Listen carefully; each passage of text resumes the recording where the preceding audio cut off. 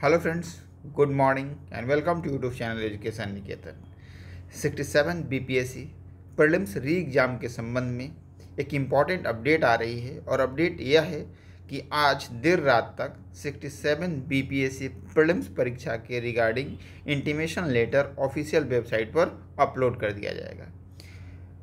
कल जो बीपीएससी के चेयरमैन अतुल प्रसाद ने न्यूज़ चैनल को इंटरव्यू दिया था, उसके बाद लगभग क्लियर हो गया था कि परीक्षा 20 और 22 को ही आयोग कराने पर आमदा है और आयोग की तरफ़ से लगभग फुल प्रूफ हो चुका है कि परीक्षा 20 और 22 सितंबर को ही आयोजित कराई जाएगी। जितने भी कंसर्न थे, उनको अध्यक्ष ने सिरे से खारिज कर दिया।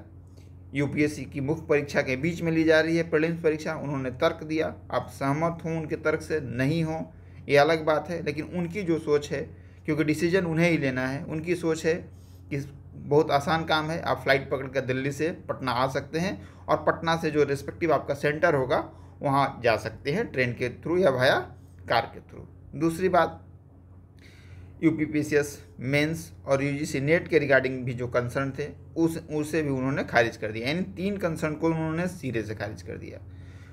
इसके बाद छात्रों के जो चौथा कंसर्न है परसेंटाइल मेथड उसके बारे में भी कल जो इंटरव्यू उनसे लिया गया जितने भी प्रश्न पूछे गए तो उन्होंने कहा कि आपने सारी बातों को हमारे संज्ञान में ला दिया है तो हम कोशिश करेंगे कि इन इन बिंदुओं का भी समावेश जब हम रूल को बनाएँ तो रखें। यानी कि जो उनसे रिजर्वेशन के बारे में पूछा गया, अगर बहुत ज़्यादा किसी अंतर आता है, यानी फ़र्स्ट शिफ्ट में सिक्सटी परसेंट बच्चे उपस्थित होते हैं सेकेंड शिफ्ट में फिफ्टी परसेंट होते हैं वैसी स्थिति, यानी जितनी भी परिस्थितियाँ उपस्थित हो सकती थी, उन सारे से अवगत करा दिया गया है। छात्र संघ के द्वारा भी, यानी छात्र प्रतिनिधि जो उनसे मिलने गए थे, उनके द्वारा, और जो मीडिया के जो पर्सन थे, कल उन्होंने लगभग जितने भी छात्रों के सवाल थे, बिल्कुल सटीकता से उनके साथ रखा।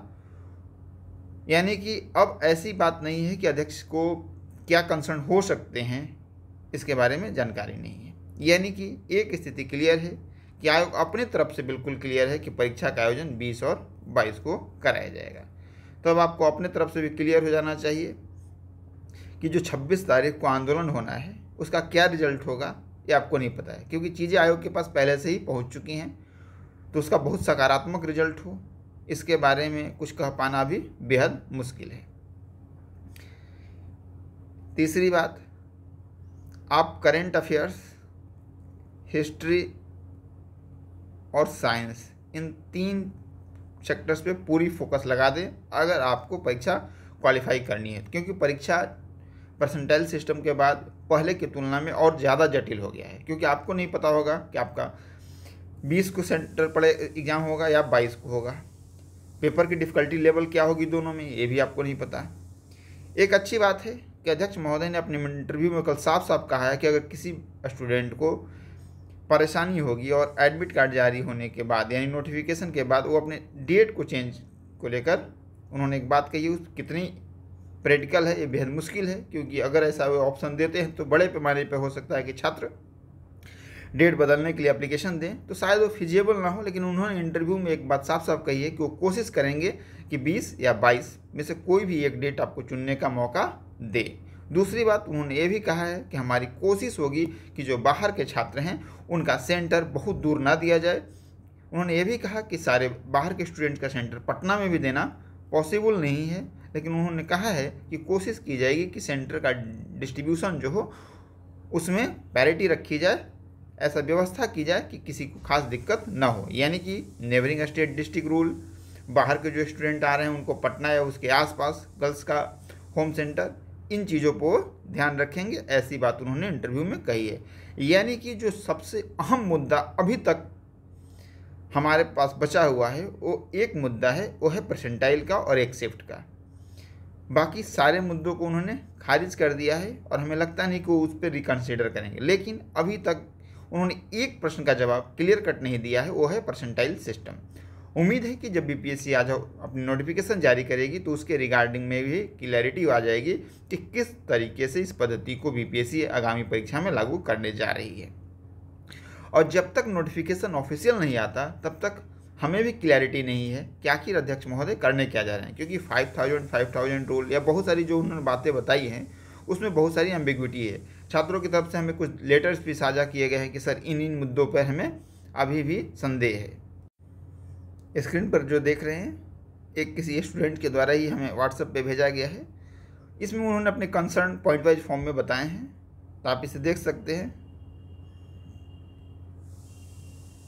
कि तीन चार बेसिकली मुद्दे हैं। एक तो जो फाइव थाउज़ेंड के बारे में उन्होंने कहा था रिजर्वेशन के बारे में, अगर बच्चे अनुपस्थित हो जाते हैं किसी शिफ्ट में, उसके बारे में, फिर इन्होंने कोर्ट केस का भी ज़िक्र किया है।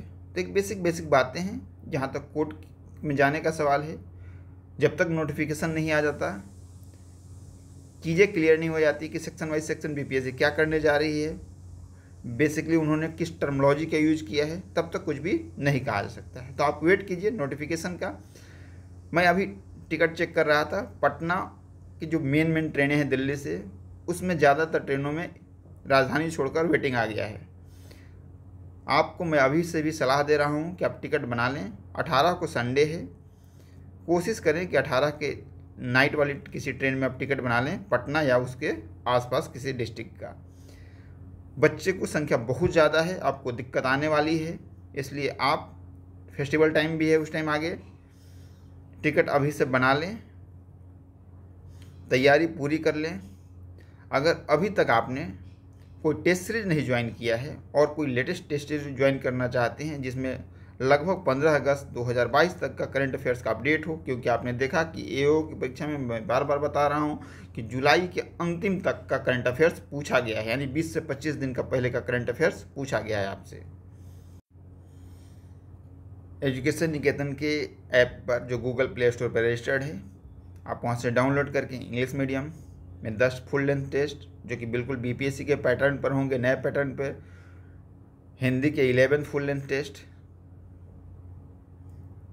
आप दे सकते हैं, एक टेस्ट को आप अनलिमिटेड बार कर सकते हैं, साथ ही साथ उसकी पीडीएफ भी डाउनलोड कर सकते हैं और इसकी जो प्राइस रखी गई है कल तक, यानी 25 अगस्त तक, मात्र तीन सौ पचास रुपये यानी three hundred fifty rupees only इसकी फ़ी है, जो कि एक अफोर्डेबल प्राइस है, यानी कि एक टेस्ट का आपको मात्र थर्टी फाइव रुपीज़ से भी कम लग रहा है। और ये सारे के सारे फुल लेंथ टेस्ट हैं, जिसमें हमने करंट अफेयर्स की संख्या थोड़ा ज़्यादा रखा है आपके लिए, यानी कि 40 से 45 करंट अफेयर्स के क्वेश्चन हैं और बाकी जो बीपीएससी पैटर्न फॉलो करती है, उसके अनुसार साइंस जोग्राफी इन्वायरमेंट इसके प्रश्न रखे गए हैं। लिंक डिस्क्रिप्शन बॉक्स में दी गई है इंग्लिश टेस्ट सीरीज़ की हिंदी टेस्ट सीरीज़ की, दोनों की तो आप सेपरेटली जिस टेस्ट सीरीज़ को खरीदना चाहते हैं, उसे खरीदने, एक चीज़ ध्यान रखें बहुत सारे बच्चों के कमेंट्स आ रहे हैं कि, सर, मैं गलती से हिंदी की जगह पे इंग्लिश टेस्ट सीरीज़ परचेज कर दिया। उसको आप कन्वर्ट करा दीजिए। तो कन्वर्ट कराने में थोड़ी दिक्कत होती है, इसलिए आप कोशिश करें कि जो आपका माध्यम है, उसी माध्यम में टेस्ट सीरीज़ को परचेज करें, ताकि आपको फिर दिक्कत ना हो। धन्यवाद।